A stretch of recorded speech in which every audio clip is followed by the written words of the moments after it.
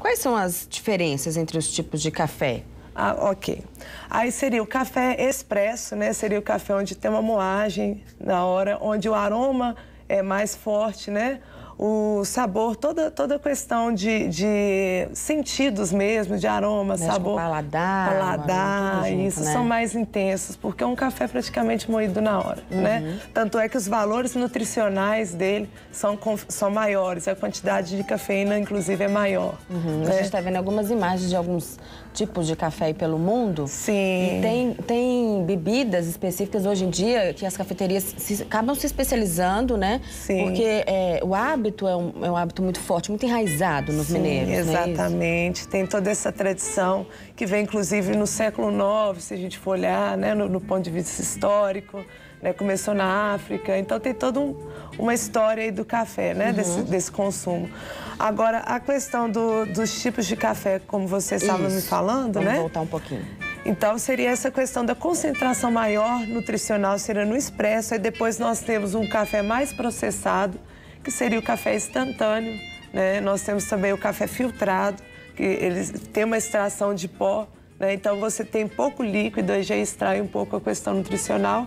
E, por último, nós temos uma extração mais processada, que é o café descafeinado que é sem cafeína, né? Ou com uma dosagem muito ínfima de cafeína.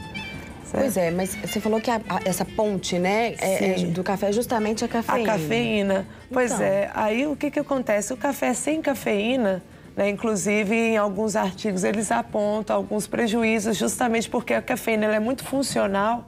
Uhum. Né? Então, café sem cafeína, por exemplo, ele, ele pode aumentar, por exemplo, a concentração de LDL, que seria aquele colesterol ruim na circulação. Não ajuda tanto no tratamento da diabetes, porque a diabetes está muito aliada à questão do, da gordura ruim também no processamento. Então, venha, eu não acho tanto um norte bom no consumo do café descafeinado. É preferível você buscar sempre uhum. o café mais nutricional, ou seja, vindo da questão priorizar o expresso, o filtrado né, e outros tipos, para ainda assim você ter né, nutricionalmente mais qualidade. Agora, em algumas regiões de Minas, tem gente que prefere o café com açúcar, com rapadura. Sim. E tem outros que até abrem mão desse sabor e usam adoçante. Sim. Qual que é o mais recomendável, na sua opinião? Ok. Ó, nutricionalmente, vamos colocar assim, vamos partir de um princípio. Quanto menos processado o alimento, mais propriedades nutricionais ele possui.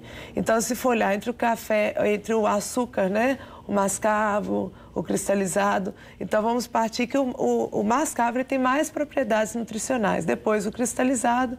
Por último, seria, vamos colocar assim, adoçante.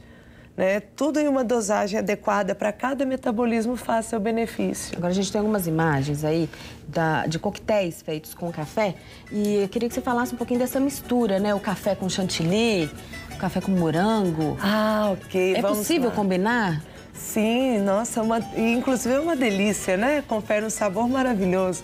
O café com chantilly tem aquela questão também da, da, do leite, né? Fica uma, uma, dosagem gostosa, né? Já o café com frutas, você tem mais adoção de fibras no meio da, da, do, do, processo do café. Uhum. Então, quanto mais fibras e outras propriedades, você tem uma, uma confere mais nutrientes mesmo ao, ao produto final. A gente falou de alguns alguns produtos que podem ser feitos à base do café. É, e você teve, você, você deu exemplo é, do, do, sorvete. Sorvete.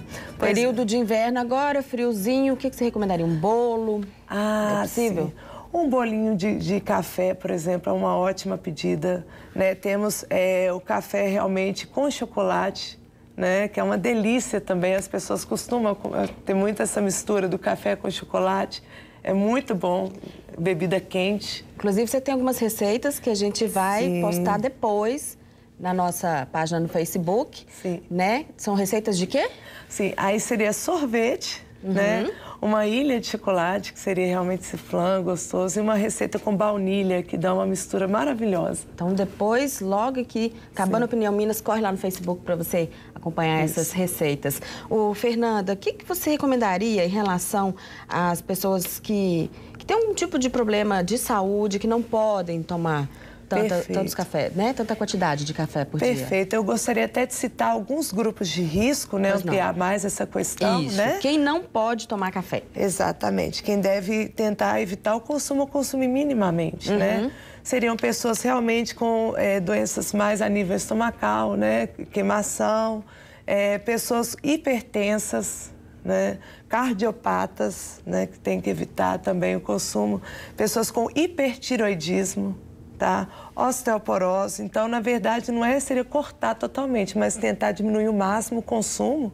Vamos colocar, colocar uma dosagem de criança de 4 anos, 50 ml, uhum. para evitar realmente maiores complicações. É, e na dúvida, a pessoa deve procurar um médico, uma orientação, um né? Um médico, um nutricionista, né, para passar toda essa orientação e agir clinicamente nessa doença. Café não é um vilão, assim, né? Não. No final das contas, muita gente pensou muita coisa sobre o café, mas é bom, é bom um cafezinho quentinho. Isso, em maioria, vamos colocar que ele é muito saudável, né?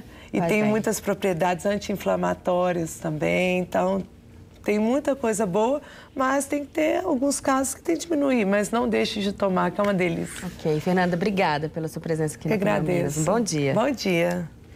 O programa está terminando, mas não deixe de acessar nossa fanpage para rever esta e outras entrevistas do Opinião Minas.